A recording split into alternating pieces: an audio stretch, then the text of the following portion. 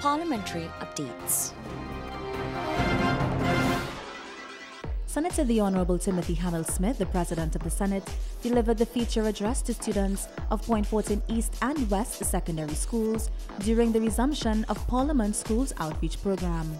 The presentation, entitled Parliamentary Privilege, was delivered on Thursday, October 16, 2014, at the Point Fortin East Secondary School. At the beginning of the program, students were shown a brief presentation on the facts about Parliament. The Senate President then began his presentation by defining the word privilege, which, according to dictionary.com, means a right, immunity, or benefit enjoyed only by a person beyond the advantages of most. Therefore, parliamentary privileges can be defined as a right or benefit enjoyed by members of parliament belonging to the House of Representatives and the Senate. One of the most important parliamentary privileges enjoyed by members is freedom of speech. But this freedom has its limitations. Members are only granted freedom of speech when speaking during parliamentary proceedings, such as sittings of the House and the Senate. Freedom of speech is also extended to written works created by members. These may include matters that are brought in a member's name, such as a bill or petition, and any publication covered under the authority of either house, such as reports.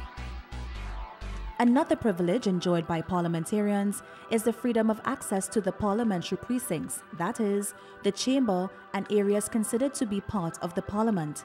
Simply put, no member of parliament can be arrested for a civil matter on his way to or from the parliament. However, an MP can be arrested if he commits a criminal offence. Parliamentary privileges are established for several reasons. One such reason is that they allow members to conduct their business without external intervention. These privileges are also important to the general public as parliamentarians are given the freedom to discuss issues of a national importance in the sacred halls of the Parliament chamber without fear of prosecution.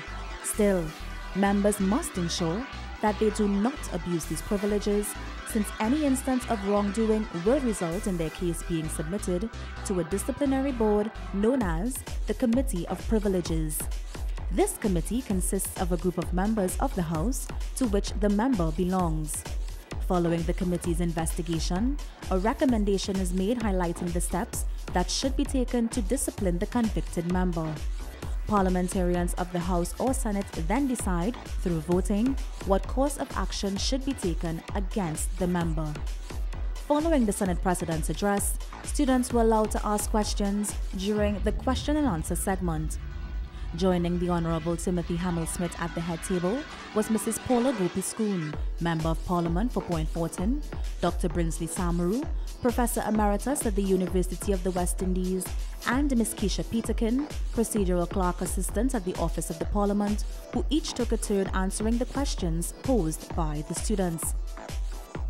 Some of the questions asked include How were members of the Committee of Privileges chosen? and if there were any recent examples of breaches by members of either the House or the Senate.